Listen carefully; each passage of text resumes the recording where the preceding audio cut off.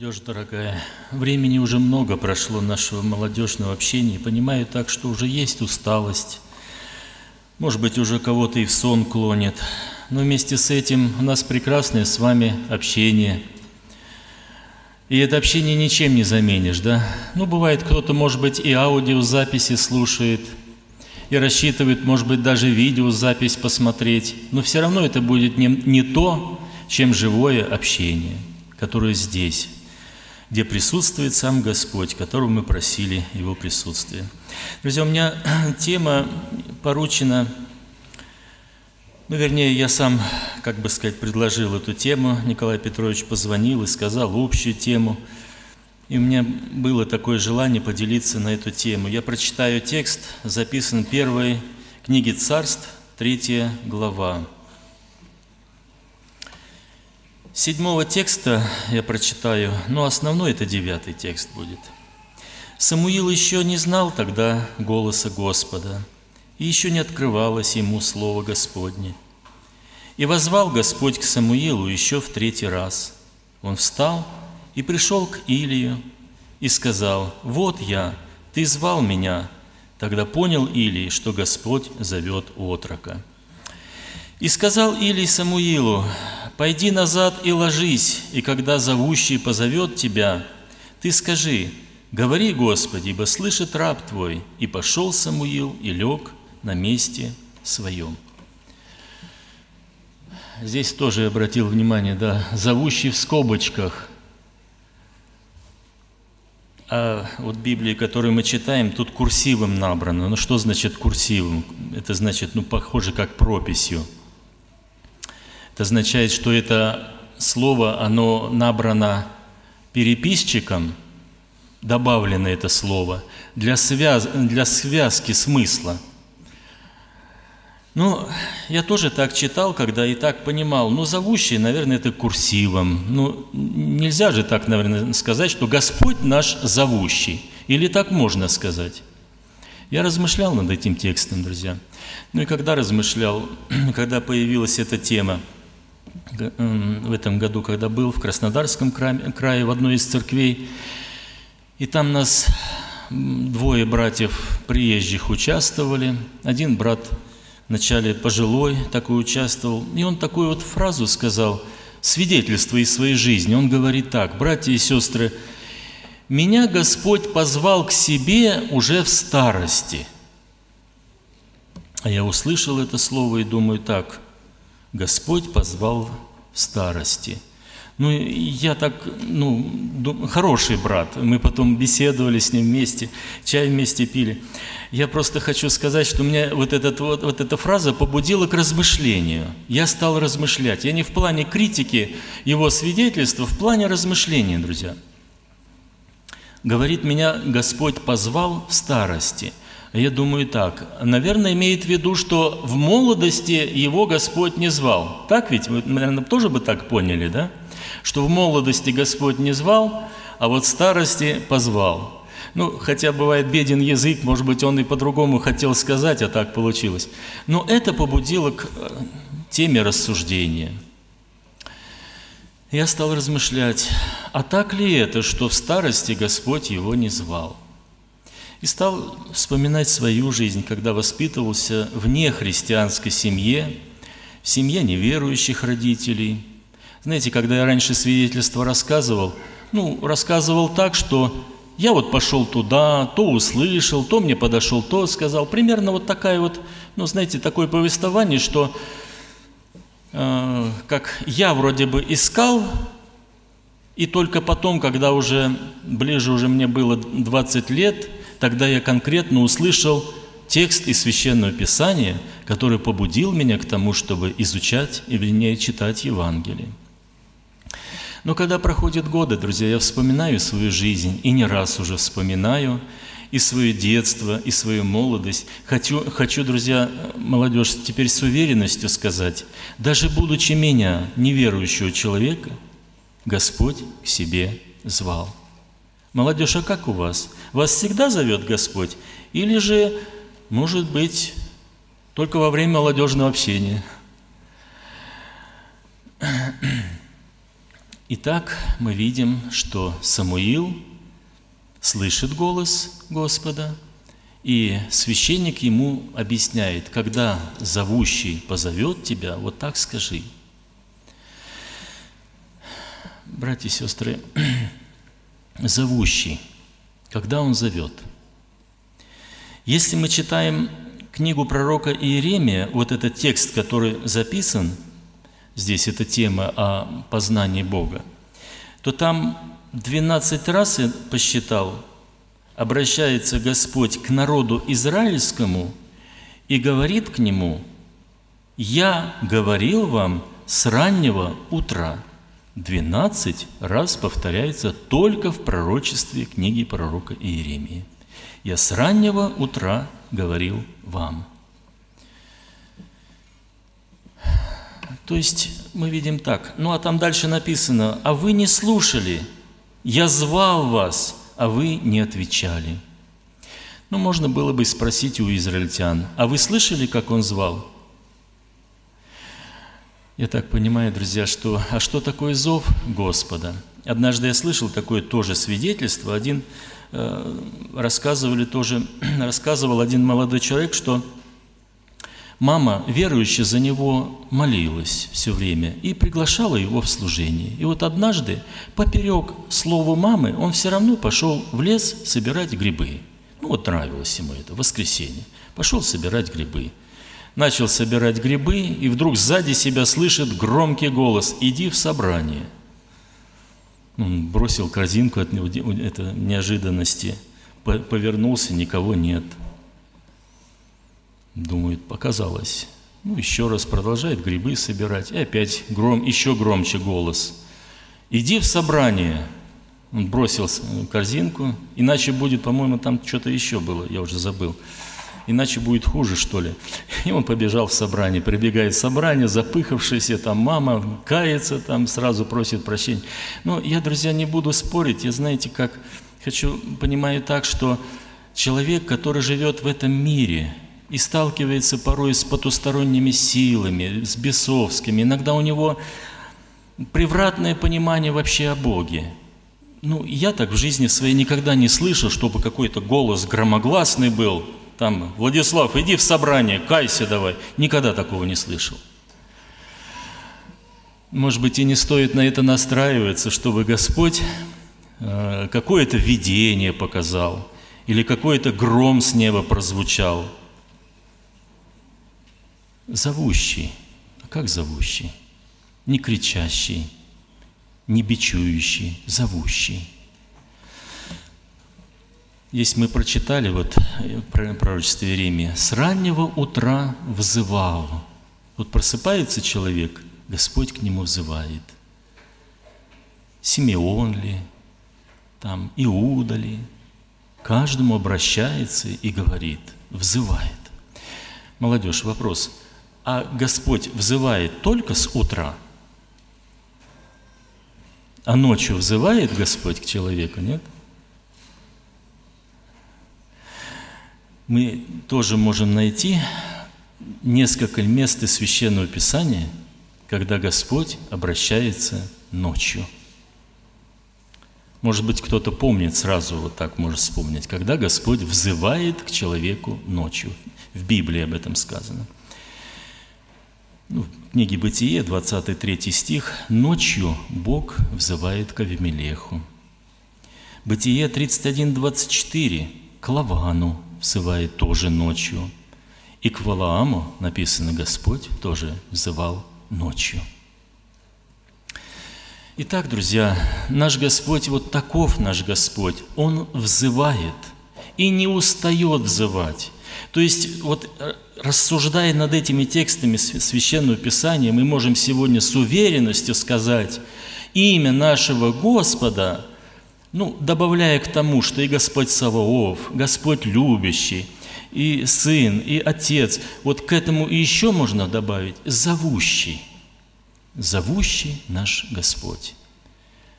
Причем нежно обращаясь к каждому из нас, каждому. Я когда помню, вот э, когда я в свидетельстве вспоминал, то думаю так, ну, наверное, это случайность, я был, наверное, какой-то предрасположенный к этому. Когда в школе э, выбор был такой, какой язык изучать? Ну, я сказал, хорошо, у нас был выбор, или немецкий, или французский. Я сказал, я французский.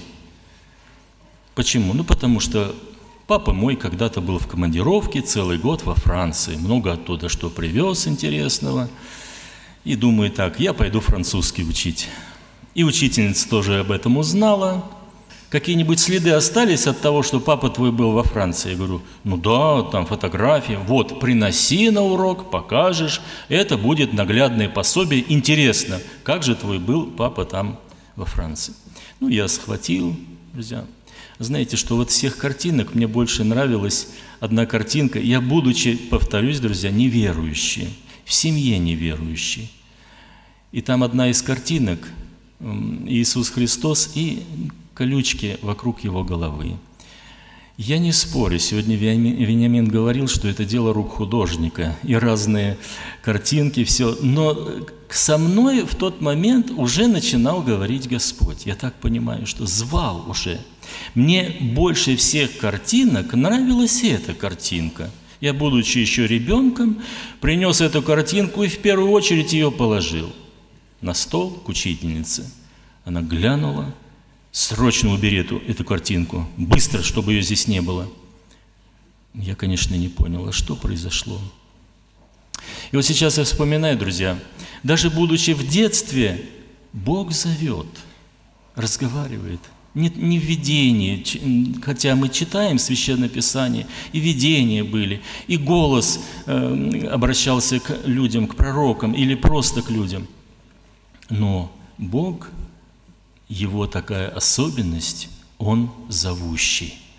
Братья и сестры, если, может быть, иногда у нас сомнения в этом будут появляться, почитайте, Священное Писание, и вы увидите, что действительно Бог зовущий. Но вопрос второй. А кого Он зовет? У меня возникла, значит, первая мысль. Наверное, пророков, наверное, святых людей, ну, каких-то особенных там, ну, так скажем, служителей, харистов или еще, вот каких-то особенных людей, но не тех же, которые, ну, как бы сказать, ведут неблагочестивую жизнь. Знаете, вторую мысль хотелось обратить на это внимание, что Бог зовет и к погибающему, и к погибшему. Книга Бытие, 3 глава, 9 стих – кому обращается первый зов Господа к э, древности человеку. 3 глава, 9 стих. «И возвал Господь Бог к Адаму и сказал ему, где ты?» Друзья, почему Бог возвал к Адаму? Потому что он был святой, или он все правильно, безукоризненно поступал, или же он был ну, регентом хора, служителем был. Почему к нему Бог обратился? Потому что его путь Адама шел к погибели. Хотя уже смерть уже наступила, если догматически точно посмотреть, да? Но вместе с этим Бог вызывает к нему, потому что Бог зовущий. Евангелие от Луки, 19 глава, 10 текст, э, говорится так, «Ибо Сын Человеческий пришел взыскать и спасти погибшие». Взыскать значит воззвать, обратиться. Вот таков наш Господь. Взыскать, то есть не, не праведных, не те, которые, э, ну, как бы сказать, уже чего-то достигли, что-то о себе думают, спасти погибшие, и Бог взывает к ним. Поэтому, друзья, вторую мысль хотелось обратить на это внимание, что Бог взывает к погибшим и погибающим. Третий момент – зовущий к служению. Ну, также Иеремия, здесь мы читаем в этой же главе, здесь об этом говорится, сам пророк, он, будучи еще молодым призванный, да, он говорит об этом, как звал его Господь. И это для него действительно было, ну, такое приятное впечатление. Первая глава,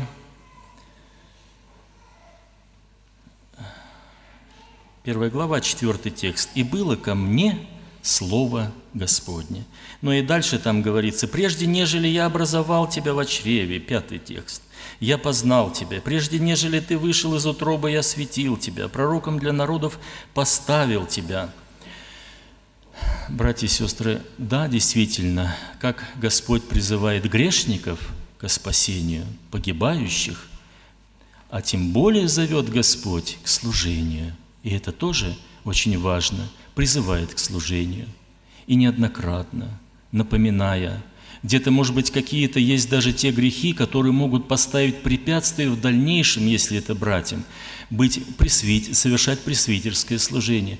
И Бог, Господь, все делает для того, чтобы остановить, предупредить, сказать, Максим ли или еще кто-то, не делай этого, не делай.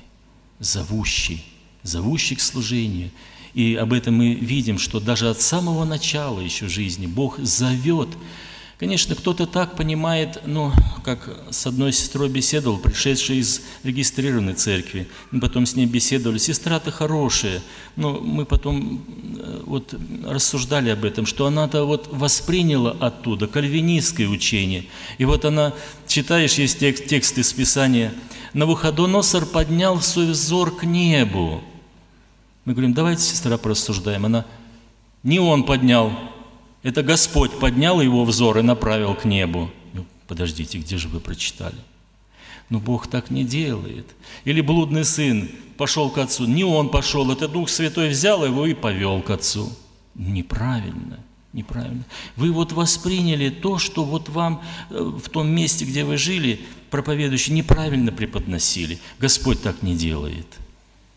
Зовущий это правильный призыв делает Господь каждому человеку. Четвертый момент, друзья. Называющий по имени. Исайя 45, глава 3 по 4 текст.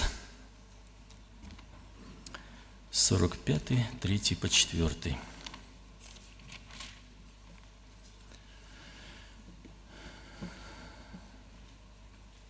называющий, вот, «И отдам тебе хранимые во тьме сокровища и сокрытые богатства, дабы ты познал, что я Господь, называющий тебя по имени, Бог Израиля». Вот на что хотелось обратить внимание, друзья. Бог обращается к каждому из вас и ко мне по имени. Вот в этом, знаете, какую мысль хотелось на что обратить внимание? Он очень каждого из нас с вами почитает – я слышал, что не раз, вот сейчас вот более так распространенно, что ли, раньше как-то это на зонах было, а сейчас более распространенно клички давать. Ну, кому-то там дают э, клички там разные где-то в учебных заведениях. Но у Господа очень почтительное отношение к каждому человеку. И причем у Бога зов такой человеку, чтобы не только его даже, э, ну, как бы сказать, обратить внимание на каждого из нас – но чтобы еще, э, ну как бы сказать, еще сделать лучше, сделать прекрасными. К примеру, мы читаем Иаков. Вообще, как это имя переводится? Вот обращается Господь к Иакову. Знаете, нет, как Иаков переводится? Ну, в основном говорят хитрый, да? Хитрый. Ну, так, если в словаре я смотрел, вытесняющий или выталкивающий Иаков. А вот уже Господь говорит, отныне тебе будет имя уже не Иаков, а Израиль. Израиль, ну, борющийся, благословенный Богом. Богом. Израиль. То есть Бог, когда обращается к каждому из нас с вами, Он знает по имени, глубоко уважая каждого человека и любя. Даже, может быть, в коллективе, где вы есть, может быть, вас уже кто-то там и не уважает, уже там где-то и прозвища какие-то дают. Но у Бога почтительное отношение к каждому человеку. И последняя мысль, друзья, призывающий для благословения. Исаия тоже 51 глава, второй текст. Да, здесь быстрее появляется. Посмотрите на Авраама, отца вашего, и на Сару, родившуюся, родившую вас, ибо я призвал его одного и благословил его, и размножил его. Я призвал, то есть позвал, да? И благословил. Хотелось бы последнюю мысль, друзья. Для чего зовет Господь?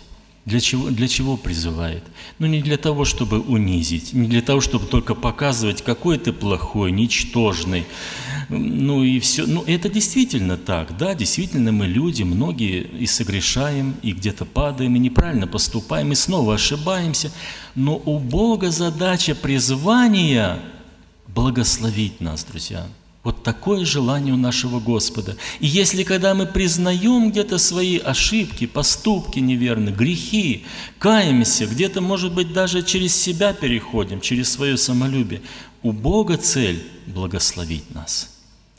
Итак, друзья, вот таков наш Господь, который зовет, зовущий.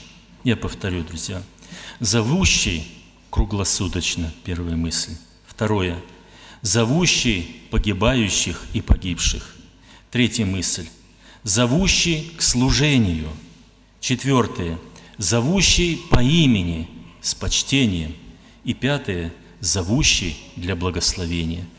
Пусть Господь, друзья, нас благословит, чтобы мы могли всегда понимать, и, как написано, блажен тот народ, который знает этот зов, чтобы нам всегда воспринимать, что говорит Господь, иметь чуткость, понимать, когда обращается к нам Господь, быть отзывчивыми на этот призыв. Аминь.